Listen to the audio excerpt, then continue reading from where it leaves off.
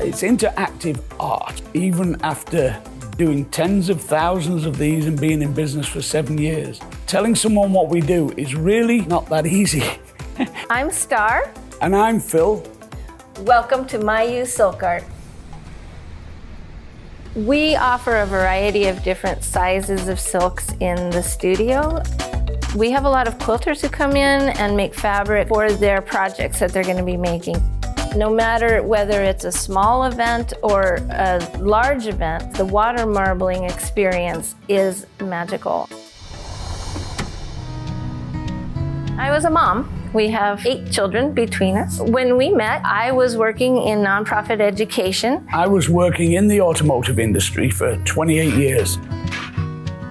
We started doing just two trays in a 10 by 10 tent at arts and crafts fairs. And that's how our business course started. There have been so many emotional experiences for us. I don't think I could pin one emotional moment, but it's possible that some of them have simply been when I look across the room and I see Phil and I think I'm where I want to be. Oh. There's only one rule, only one. Don't squeeze the paint bottles. The paint has to hit the surface one drop at a time. That's the key. That's all you need to know.